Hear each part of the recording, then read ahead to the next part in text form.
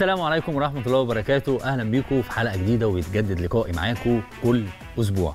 آه النهاردة في أكلة حلوة قوي زي ما حضراتكم عارفين إن إحنا بنلف ونشوف وبنجيب من ثقافات جديدة وثقافات مختلفة. النهاردة جايب لكم أكلة من ولاية تكساس في اسمها بلانكيت. آه بلانكيت عاملة أكلة حلوة قوي اسمها blanquette de veau. بتتعمل باللحمة البيتيلو تعالوا الأول سريعا كده نقول المكونات مع بعض.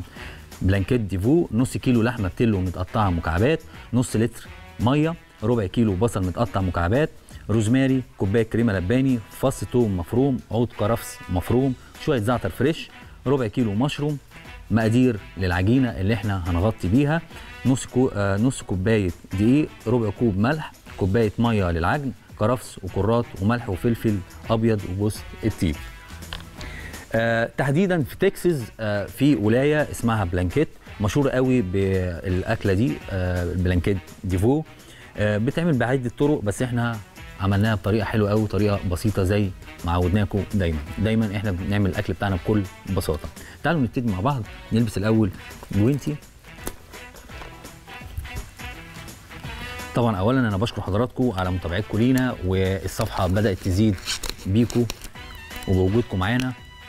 ويا رب دايما الأكل بتاعنا يكون عاجبكم.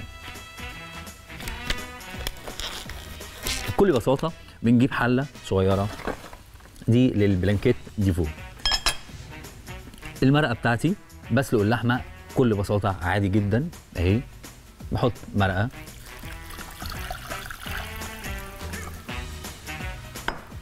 وببتدي أحط المرقة. وبعد ما بحط المرقة بحط اللحمة بتاعتي.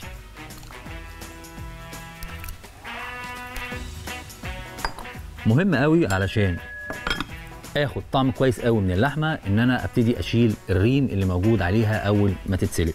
اللحمة البتيلو من الحاجات الجميلة قوي ومن الحاجات كمان اللي هي ما بتاخدش سوا. طيب عايزين كمان نعرف إيه الفرق ما بين اللحمة البتيلو واللحمة الكندوز. اللحمة البتيلو بتبقى أفضل أنواع من اللحمة البتيلو عمر الحيوان لا يتجاوز التسع شهور. دايما لونها بيبقى زي ما حضراتكم شايفين أحمر فاتح الليونة بتاعتها متوسطة أما اللحمة الكندوز أحمر غامق الليونة بتاعتها جامدة والألياف بتاعتها بتكون شديدة وقاسية وبتاخد وقت كتير في السوا. طيب أنا محتاج إن أنا أحط شوية أعشاب عطرية.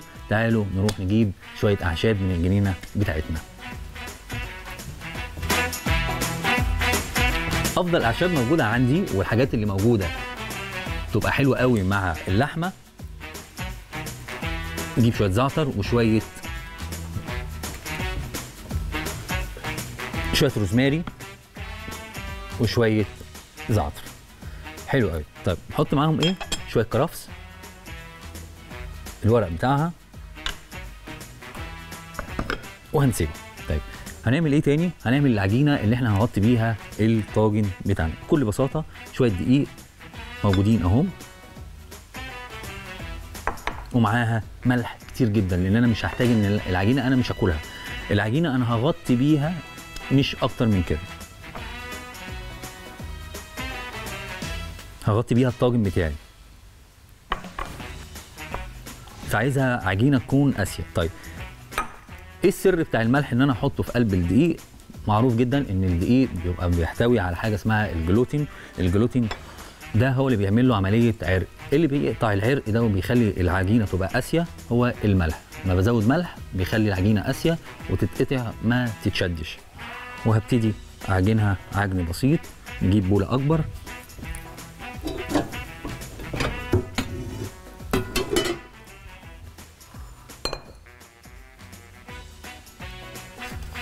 حطينا طبعا الملح وحطينا الدقيق بتاعنا.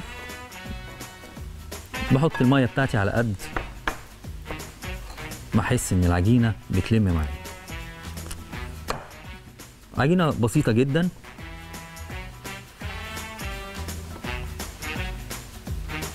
بحط الميه بتاعتي واحدة واحدة. في أنواع كتير من الدقيق فخلينا نبقى حاطين في الاعتبار إن الدقيق أما يجي نحط له الميه نحط له واحدة واحدة وعلى قد ما الدقيق بتاعنا يستوعب الميه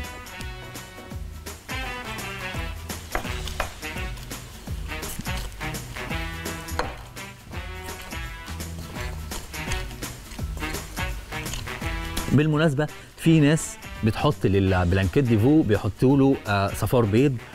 أنا بحس إن هي بتبقى آه، كلاسيكية قوي وبس مش مقبولة يعني.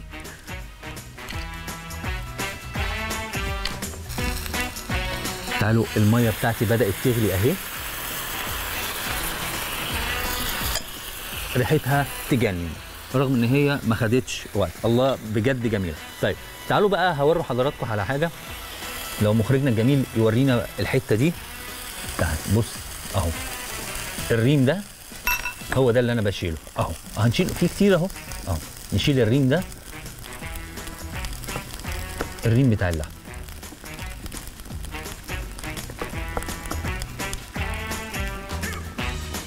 في التوقيت ده مش هنغطيها هنسيبها زي ما هي كده ونشيل دول.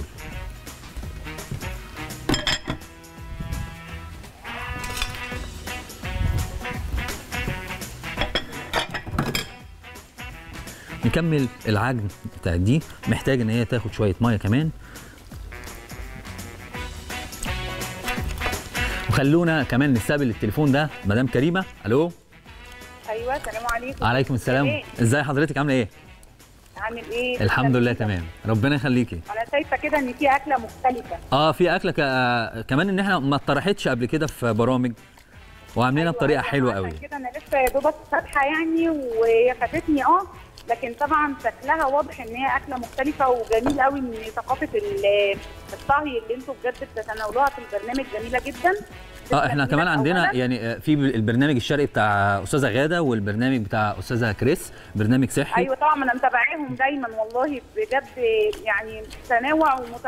وحاجات متعددة جميلة. ربنا يخليكي. اولا بقى أنا عندي سؤال. اتفضلي تحت أمرك. بالنسبة آه، لموضوع ال- اللحمة لما بيبقى في ناس بيقولوا إن هي يعني نشطفها أو نغسلها قبل التتبيلة وقبل السلق وقبل الكلام ده. تمام. طبعا أنا عن نفسي مش مع الموضوع ده. تمام. بس أنا قلت أسألك أنت برضو تفيدنا بمعلوماتك. هقول إيه، لحضرتك آه. ال- اللحمة إن هي تتغسل قبل ما تتبل وتتسلق ولا إني أنا عن نفسي أنا عارفة إن درجة الغليان لما بتوصل لمعدل عالي كده كده البكتيريا أو أي حاجة بتكون ضارة فبتنتهي عليها صح كده الكلام ولا آه، إيه؟ هو حضرتك أنا حاسس إن انت دارسة طبخ أو دارسة سانيتيشن لا أنا بس هاوية بس موضوع الطهي وخصوصا إني برضو إيه يعني عندي ابني اللي هو تعبان مريض سكر طبعا ربنا يشفي الجميع. فالواحد بيحاول إن هو يجتهد إن هو بص أنا هقول لحضرتك على حاجة. مبدئيا ما فيش أي لحوم حمراء بتتغسل. اللحوم البيضاء بس هي اللي حتى. ولو اللحوم المجمدة آه، لا ولا اللحوم المجمدة آه، بتفقد. آه بتفقد ال- ال- الفيتامينز بتاعها وكمان. بتفقد آه، بت... بت... بيبقى فيها زي زفارة لكن أي لحوم بيضاء بتتغسل طيب زي الفراخ زي. الأرانب اتفضلي آه بالنسبة برضو للخضروات لما بنيجي نعمل الأكل بنسويه وكده. تمام. آه، أنا آه، عارفة إن ما ينفعش كتر غليان أو تدخين الأكل. تمام. آه، ال- الفايدة بتاعه الخضار بنفقدها في تدخين الأكل مرة واثنين بالظبط. فهو الصح إيه؟ إن إحنا نحتفظ بالأكل لو مثلا عندنا. آه. ولما نيجي نسخنه طريقة تسخينه إن إحنا ناخد كل وجبة أو كل فرد يحتاج اللي هو عاوزه ويسخن لوحده كده صح ولا إيه؟ طيب، بص هقول لحضرتك على ممتعنا. مبدئيا إن إحنا لما بنو بيبقى بيكون عندنا طرق طهي سليمة وطرق تسوية مظبوطة بنحافظ على أكتر وقت ممكن للأكل بتاعنا والعمر الغذائي بتاعه غالبا الشيلف لايف أو مدة الصلاحية بتاعة الأكل بتبقى موجودة عندي في الثلاجه مش أكتر من 3 أيام طيب لو أنا عندي لحوم أو لو عندي حاجة فيها مرق زي كده اولا بستخدم معاها إن أنا أغليها كويس جدا وبعد كده آجي أكلها طيب قبل ما اغليها بقى طريقة الحفظ بتاعها. ما ينفعش تكون الحاجة عندي تكون سخنة قوي وابتدي أبردها تبريد على مراحل. لازم يكون التبريد بتاعها تبريد مفاجئ. أعمل لها زي عملية صدمة أو زي عملية بسطرة. فأنا دلوقتي لما أجي مرة واحدة أبرد الشوربة دي فهتبدأ تاخد معايا وقت طويل وعمر طويل لأن أنا خلاص قتلت البكتيريا مرة واحدة. ده رقم واحد. طيب لو أنا عندي مثلا خضار أبتدي أتعامل معاه إزاي؟ لو أنا عندي الخضروات اللي هي الحاجات الخضراء زي حضرتك ما شايفة دول يا ريت أستاذنا الجميل يورينا الحاجات دي. الخضار ده. الخضار ده معمول حاجة اسمها blanché. يعني إيه blanché؟ علشان أحافظ على شكله ولونه وكمية ال vitamins اللي موجودة فيه بجيب مية سخنة ومية ساقعة متلجة. بسلق وبعد ما بسلق لكن مش بسلق سلق للنهاية. بسلق سلق بسيط جدا يا دوب أخده صدمة واطلعه احطه في ميه بتلج. يبتدي معايا عمر طويل. دي درجة حفظ الخضروات. أقدر أعمل إيه بقى بالخضار ده؟ لو أنا حافظه في الفريزر عندي أطلعه. يفك يعمل حاجة اسمها defrost مش إن أنا أسلقه تاني. يعمل حاجة اسمها defrost يفك التجميد اللي فيه وبعد كده أبتدي أتعامل معاه في شوربة أو خضار. لو أنا مثلا عندي بامية لو أنا عندي مثلا فاصوليا خضراء أعملها مع الصوص الطماطم وهكذا. فأفضل حاجة إن أنت تستخدمي الخضار بتاعك أو تستخدمي حضرتك الخضار بتاعك الفاصوليا الخضراء شوية الصوص الطماطم يبقى عندي موجود already موجود في قلب الفريزر أطلعه. يفك أهم حاجة يفك يعمل defrost مش إن أنا أخليه يفك على النار. وبعد كده أعمل شوية الصوص بتوع الج- الجمال معاهم الخضار. وبالف هنا وشفا لحضرتك. لسه معانا ولا قفلت؟ طيب.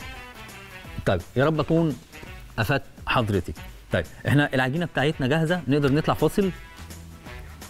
طيب هنطلع فاصل صغير ونرجع لكم استنونا اوعوا تروحوا في أي حتة.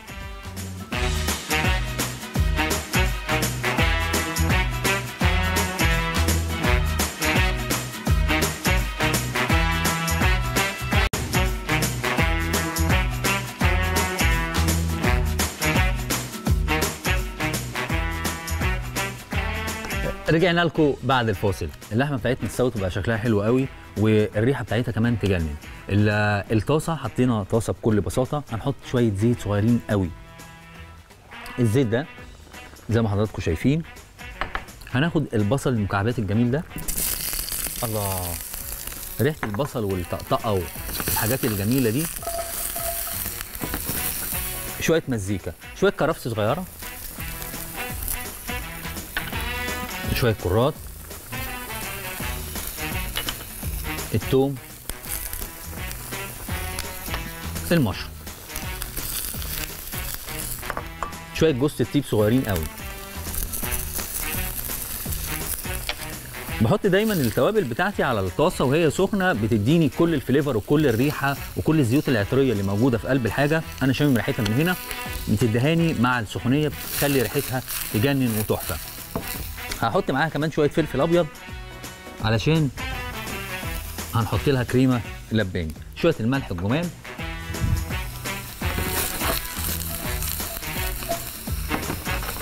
يا دوب خدوا شنطة كده صغيرة. هبتدي آخد اللحمة بتاعتي اللي موجودة هنا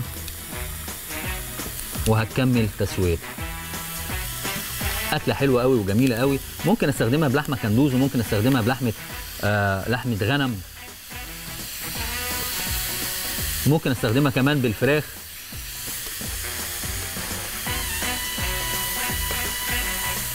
ده أنا عايز أقول لكم على حاجة كمان. بعد ما هنضيف اللحمة آه بعد ما هنضيف آه، الكريمة اللباني هنطعم بإيه بقى؟ حد يقول لي. هنطعم بالشوربة دي.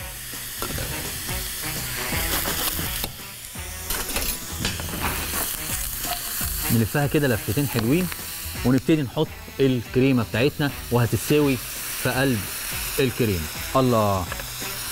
طيب. في ناس بتربط الموضوع ده بحاجة اسمها زبدة ليزون. زبدة ليزون بتاخد أصفر بيض. أنا مش قابل الأصفر بيض لأن إحنا ثقافتنا عايزين نقرب قوي الثقافات بتاعتنا الثقافات اللي بره نجيبها هنا في مصر ونمصر الأكل بتاعنا. رغم إن الأكل أصلا أساسه تركي وعثماني ومصري. خلينا نبقى نشرح الموضوع ده في حلقات تانية كتير إن الأكل أصلا أساسه مصري. طيب نطعم بإيه بقى؟ نطعم بشوية البيون أو الشوربة دي. نجيب كبشة صغيرة.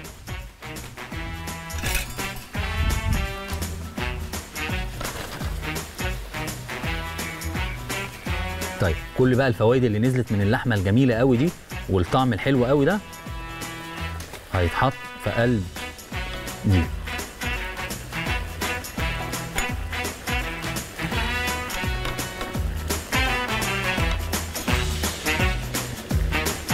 كده ده في كمان شوية لحمة هنا مستخبيين.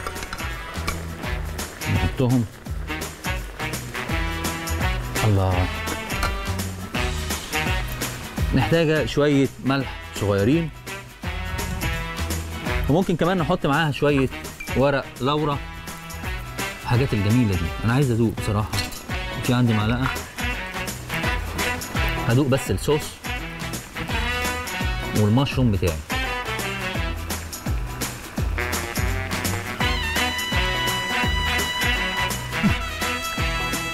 طعمها طعمها جميل. واستاذنا الجميل هيجي يدوق معانا بعد الفاصل. طيب دي محتاجة إيه؟ محتاجة إن إحنا نحطها في الطاجن ده. وهنقفلها بالعجينة بتاعتنا. خلينا نشيل الحاجات دي كلها ملهاش لازمة. عشان نتفرج على دلع اللحمة دي.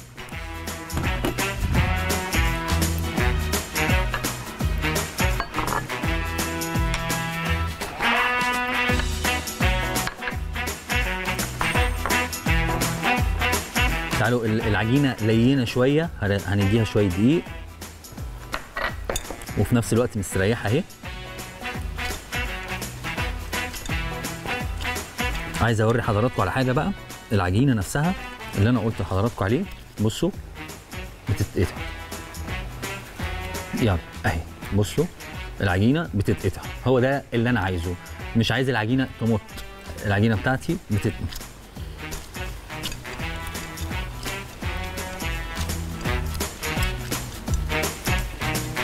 حلو قوي كده. تعالوا نحط العجينة دي على الطاجن ده بعد ما نعمل دي. الله. هنغطيها. هي لسه طبعا فيها تكاية صغيرة. التكاية. هنعمل العجينة بتاعتنا. هنفرد العجينة بتاعتنا بكل بساطة. عجينه عادية خالص. دي مش هناكلها.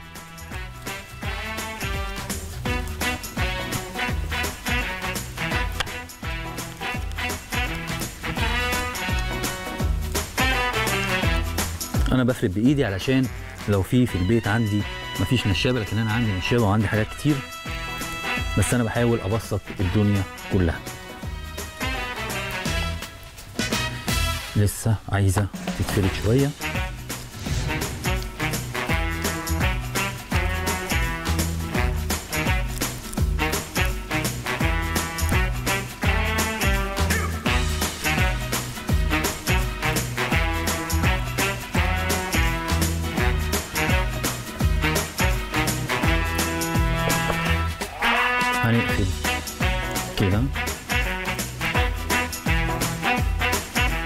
كل البخار ده بقى.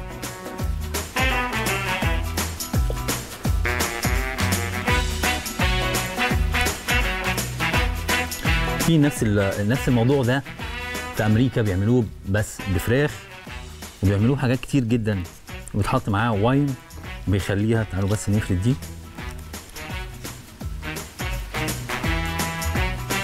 لو عندي حتة مفتوحة ولا حاجة. آه بنسد كل حتة فيها فراغات.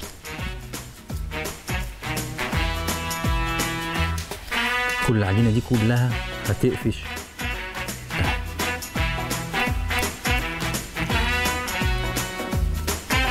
تعالوا اوروا لحضراتكم حطها في قلب الفرن. تعالوا نشوف هنحطها إزاي.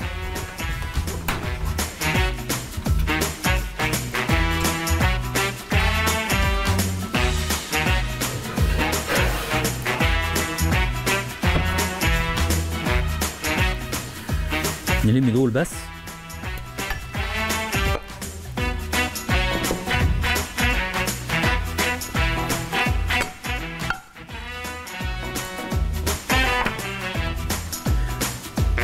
في عندي ليكو أكلة حلوة قوي.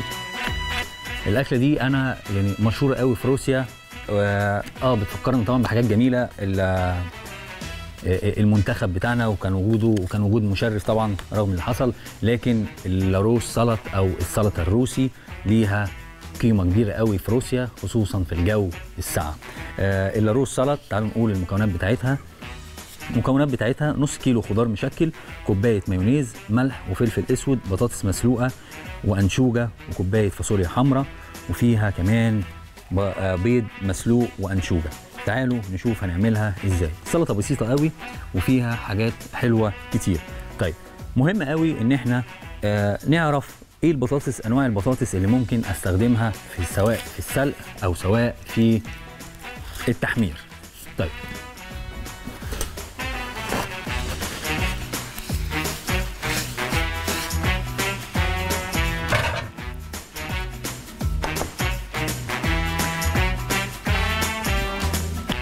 آه أنا بالنسبة لي السلطة دي فيها كل العناصر الغذائية فيها بروتين وفيها كمان آه آه فيتامين وفيها ال- الكربوهيدرات الموجودة في قلب البطاطس. يعني الكربوهيدرات اللي هي المحتوى النشوي. طيب بس أنا عايز أقول لحضراتكم على حاجة مهمة جدا. أنا لو عايز أجيب بطاطس للقلي أو عايز أجيب بطاطس للطبخ ودي كتير قوي إحنا بنقع فيها لما أجي اشتري بطاطس هقليها اعملها شيبسي للولاد اعملها آه، بطاطس صوابع french fries أجي الاقيها بقت لونها مسود وتطرى ويبقى شكلها مش حلو. وفي نفس الوقت ما تدينيش نفس الطعم. وفي نفس الوقت والعكس كمان لو أنا جيت حبيت ان أنا اطبخ بيها وطلعت بطاطس للتحمير والاقيها طعمها مش حلو ومستوية آه، بتستوي بتتهري طيب أقدر افرق ده ما بين ده وما ما بين ده إزاي؟ تعالوا اوري حضراتكم على حاجة. طيب آه، اولا إحنا بنعمل ده كله علشان خاطر حضراتكم ان أنتوا تستفادوا بأكتر حاجة ممكنة. دي بطاطس تحمير ودي بطاطس طبخ. الفرق ما بينهم نوضحهم. ممكن نحطهم هنا نجيب بلانشا بلانشا بيضة نوريهم لحضراتكم. آدي التحمير وآدي الطبخ. إيه الفرق ما بينهم؟ تعالوا نجيب سكينة. بكل بساطة هنعمل دي كده. دي فتحه ودي مسفرة. طيب لو أنا اختلط عليا الأمر وحسيت إن أنا آه الموضوع بقى مختلف معايا ولما جبت البطاطس بتاعتي أعمل أعمل فيها إيه؟ طيب بصوا هنا وهنا. هنا هتحس إن هي طرية شوية هنا هتلاقي ناشفة. هنا بصوا طرية. ممكن كمان أقدر أقشرها بإيدي. قشرتها ضعيفة جدا. القشرة بتاعتها ضعيفة. طيب. بعيدا عن ده بالعين ان إن أنا ما قدرتش أفرق ما بين ده وده لو أنا جبت بطاطس وحطيتها في البيت وعايز أحمرها وحسيت إن هي فيها شك فهعمل حاجة بسيطة جدا هجيب بولة فيها مية بعد ما اقشر البطاطس. هحط البطاطس بتاعتي في قلب المية لو طلعت فوق وش المية للتحمير. لو طلعت ما طلعتش فضلت تحت يبقى البطاطس دي فيها مستوى الرطوبة أعلى. البطاطس دي تبقى الايه للطهي أو للطبخ. تعالوا نشوف البطاطس بتاعتنا. سلقناها. دي البطاطس بعد ما اتسلقت. ودي شوية الخضروات. هنعمل إيه؟ هنضيف الخضروات دي مع البطاطس مع المايونيز مع الفاصوليا الحمراء وهنقلبهم مع بعض.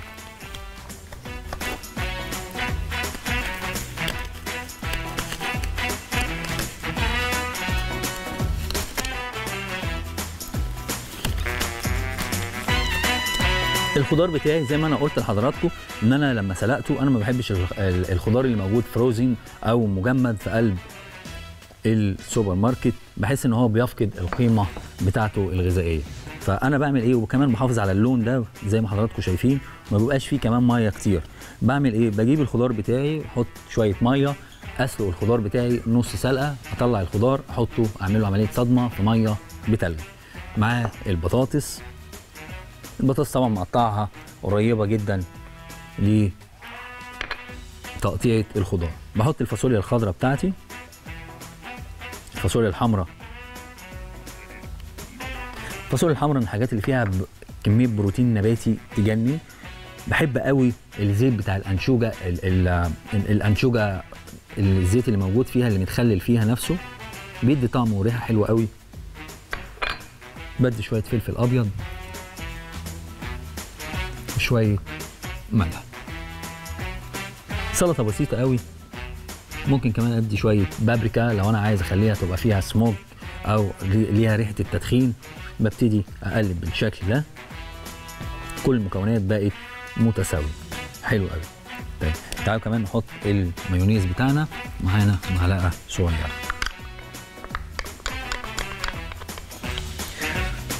ممكن أحط كمان مايونيز في مايونيز دلوقتي light ممكن أعمل آه، أحط لو أنا مش عايز أحط مايونيز خالص لو لو أنا هعمل دي لأطفالي ممكن أعملها آه، بالزبادي ممكن أعملها بال- باللبنة آه، بال sour cream ممكن أعملها بشوية كريمة لباني.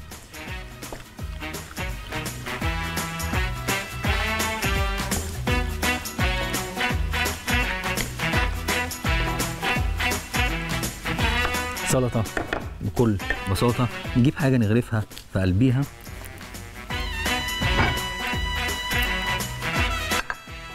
هنغرفها بالشكل ده. تعالوا ناخدها كده. سلطه اللاروس من الحاجات الجميلة قوي والممتعة قوي.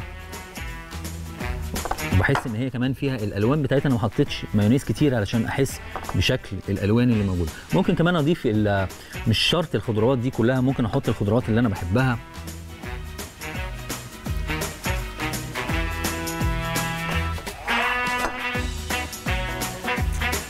نقلع الجوانتي ده.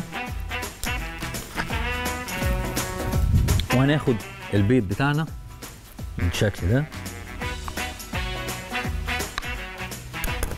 ممكن نعمله ويدج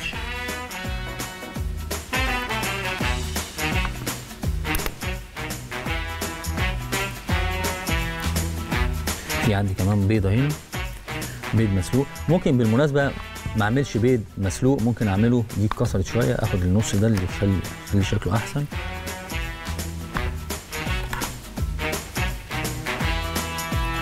طيب الانشوجة بتاعتي هنشيل ده كمان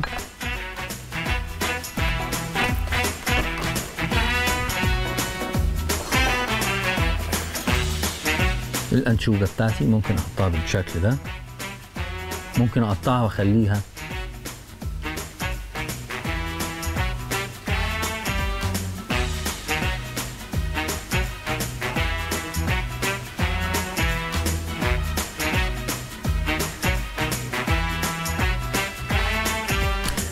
ألوانها حلوة قوي ومبهجة. كمان آه، فيها طاقة إيجابية. تعال نحط دي هنا كده. آه الأكل ما بيحلوش غير بالحلو. بس الحلو مش هنعرفه غير بعد الفاصل. تعالوا نطلع فاصل نرجع لكم.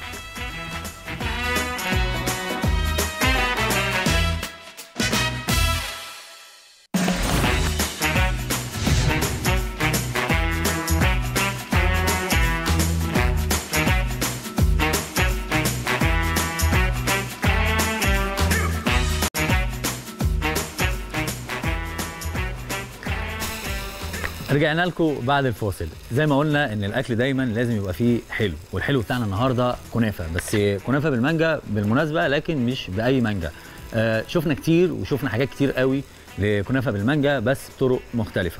آه هنعمل حاجة اسمها كنافة ب curd الم- المانجا. آه curd دي طريقة تسوية وطريقة آه عمل صوص. تعالوا نقول كده المكونات بتاعتنا سريعا. نص كيلو مانجا متقطعة قطع صغيرة. نص كيلو كنافة ربع كيلو سكر بودرة معلقتين سمنة بلدي curd المانجا بقى هنعمله إزاي؟ نص كيلو سكر 100 جرام مانجا متقطعة مكعبات وكوباية عصير مانجا و8 أصفر بيض وربع معلقة ملح و100 جرام زبدة. تعالوا نبتدي سريعا كده. الكنافه بتاعتي علشان ان أنا أعملها آه بطريقة حلوة ولذيذة. بجيب الكنافة بتاعتي زي ما حضراتكم شايفين باخدها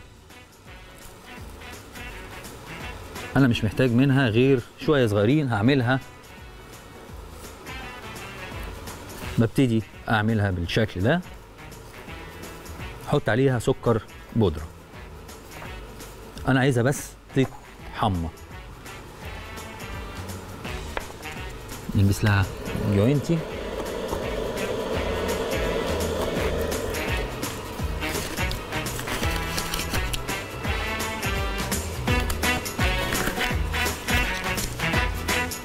طبعا عملنا الكنافة بالمانجا بمناسبة موسم المانجا الجميل. وليها فوائد كتير بس يعني محدش ياكل منها كتير. آه محدش ياكل منها كتير علشان فيها نسبة أملاح كتير. آه إحنا حطينا شوية سكر بودرة وشوية سمنة بلدي معلقتين السمنة البلدي. طيب أنا هاخد الكنافة دي مش أكتر من إن هي تتحمر وتاخد لون ذهبي ونعمل ال curd مع بعض. تعالوا نحط الكنافة بتاعتنا. نبص كمان على العجينة بتاعتنا. العجينة بتاعتنا بدأت الله خلاص نشفت أهي. نص دقيقة ونطلع بيها. طيب ال curd للمانجا. هنعمل كمان شوية syrup هنحطه.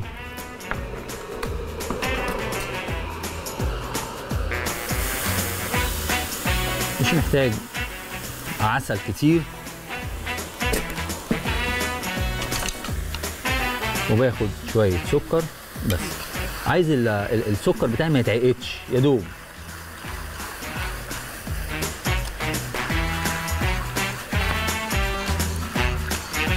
ده اللي إحنا هنسقي بيه المانجا بتاعتنا الجميلة. كده خلص. الف هنا وشفا طيب تعالوا بقى هنعمل إيه؟ هنعمل حاجة حلوة قوي. ننقص بس بمبريه مية أو حمام بخار للكيورد اللي إحنا هنعمله. بولة بسيطة قوي. هنحطها هنا ومعاها البولة دي. طيب. هنحط صفار البيض زي ما حضراتكم شايفين. وهبتدي أضرب بكل بساطة. أول ما أحس إن خلاص بدأ يربط معايا أو أحس إن هو تقل في قلب المضرب ببتدي أحط له الزبده بتاعتي.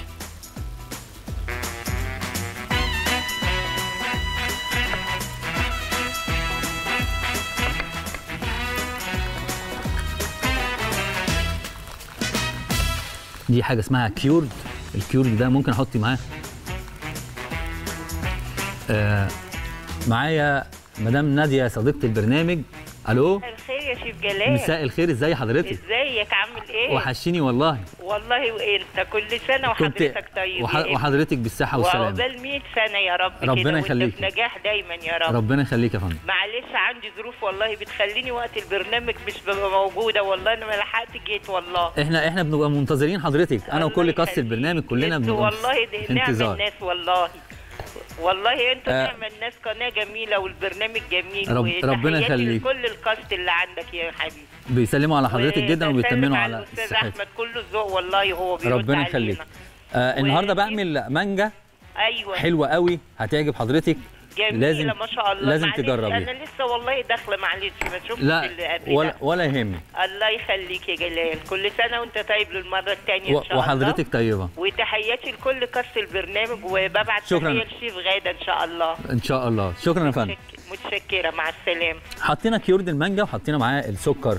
بودرة. بصوا تقل إزاي؟ ده اللي هيبقى جوه المانجا.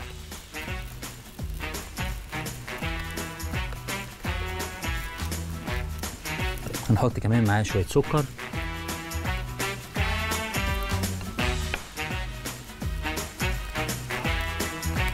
تعالوا كمان نبص على الكنافة بتاعتنا. وصلت لإيه؟ الكنافة بتاعتي بدأت تحمر.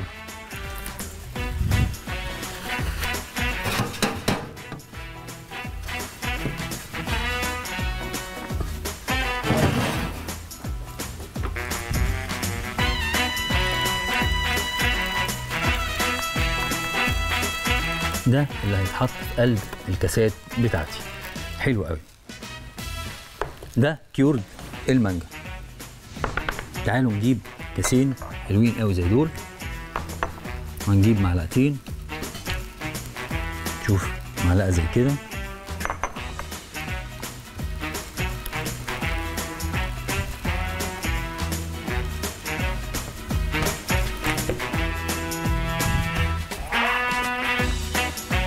ده اللي هيتحط في الأرضية. عندي طعمه حلو قوي ويجنن طريقه جديدة. حاولوا تجربوه. ممكن كمان نقدر نجرب ده في البرتقان. نعمله بنفس الطريقة دي. عايز أبص كمان على ال... ده كمان خلص. تعالوا نشيله. أو عندي جوينت هنا.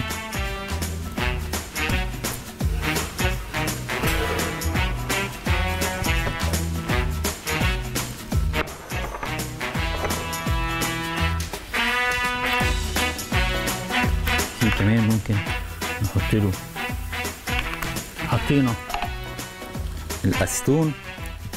كمان ممكن خليها قدام حضراتكم بالشكل ده. حطينا شوية كحول خلة زي ما حضراتكم شايفين تعالوا نفتحها كده مع بعض ونشوفها من جوه عملت إيه. الله شوف بقى العجينة دي.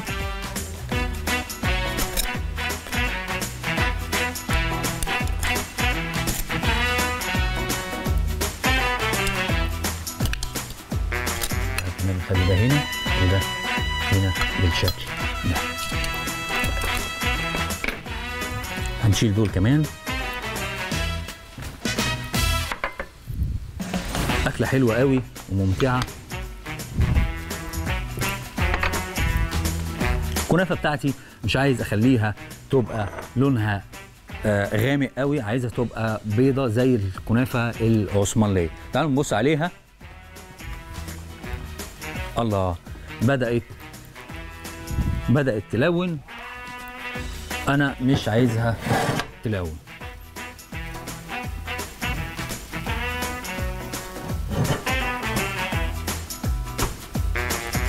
هنبتدي نحط شوية الكنافة بتاعتنا.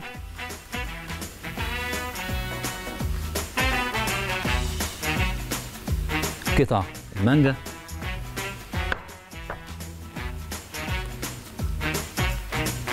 المانجا حلوة قوي. الأيام دي. وهناخد كمان شوية كنافة هنا.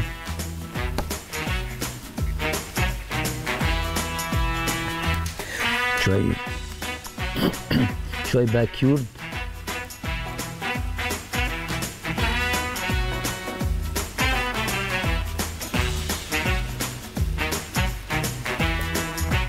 نحط كمان شوية طبق الكنافة كمان.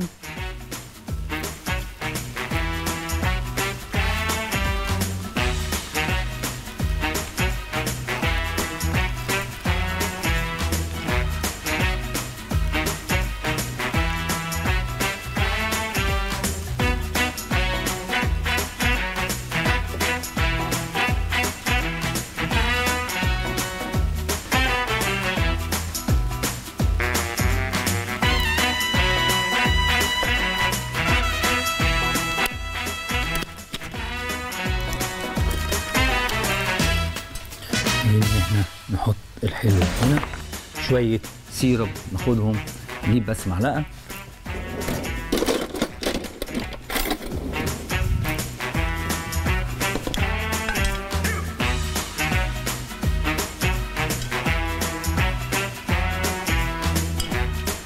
ممكن أحط عسل أبيض لو حضراتكم مش عايزين. ده خلينا بقى كمان نشيل دول.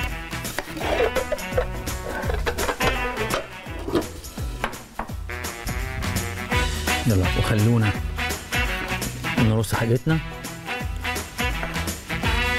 نشيل دول. آه زي ما عودت حضراتكم يا رب تكون الحلقة عجبتكم. عملنا الأكل بتاعنا بكل بساطة وبكل طريقة سهلة وممكنة. آه عملنا الروز سلط طريقه حلوة قوي مع المايونيز وعملنا ال veal blanquette. أو ال blanquette de veau وعملناه بطريقة حلوة قوي وعملناه بالعجينة. العجينة مش هتتاكل حطينا معاها كمان شوية كحول ولعنا خلينا يبقى فيها ريحة ال- التدخين. وعملنا المانجا ال curd. يا رب تكون حلقتي عجبتكم وتنال إعجابكم ورضاكم. تابعوني دايما على الصفحة وأستنى حضراتكم بكرة. سلام الله عليكم. باي باي.